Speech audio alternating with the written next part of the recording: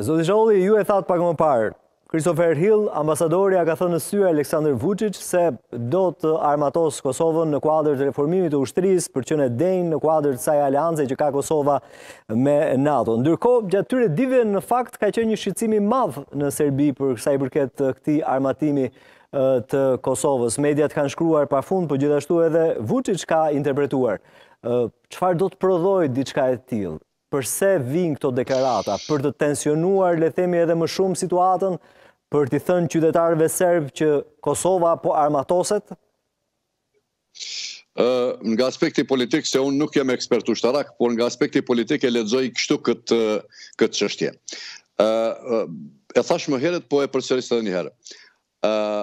por duhet edhe për juve dhe gjithë shikuesit që na përcjellin ta dimë.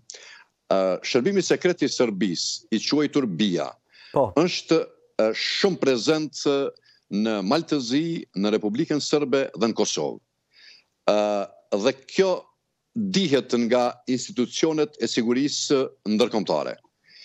Prezenca e tyre ka për qëllim që përveç destabilizimit politik dhe destabilizimit në forma të ndryshme përmes satelitëve të tyre, siç është zoti Dodik, pastaj partitë politike pro-serbe në Mal të Zi dhe Lista Serbe në Kosovë, dëshirojnë që ta armatosin, të themi kështu nën thonjëza, popullatën sërbe në këto tri shtete që nuk i takojnë Sërbisë, me qëllim që Vucic të jetë pastaj para amerikanëve një faktor i cili do të ishte si të themi ai i cili mund ta shpëtojë situatën e, po, krijuar në rreth në rrethana të caktuara. Pa dashur t'ju ndërpres. Thatë pak më parë BIA, por gjithashtu Dodik edhe influenca që ka bota serbe në Ballkan po mundohet që të armatosë komunitetet serbe. Si e bën diçka të tillë?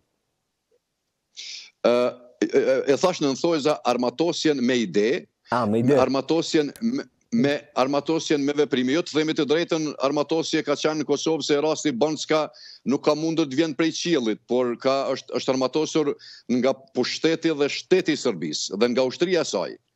Veprime të tilla në Bosnjë e Hercegovinë apo në Republika Serbe nuk kemi pasur e as në Mal të Zi, por neve po na intereson çështja e Kosovës.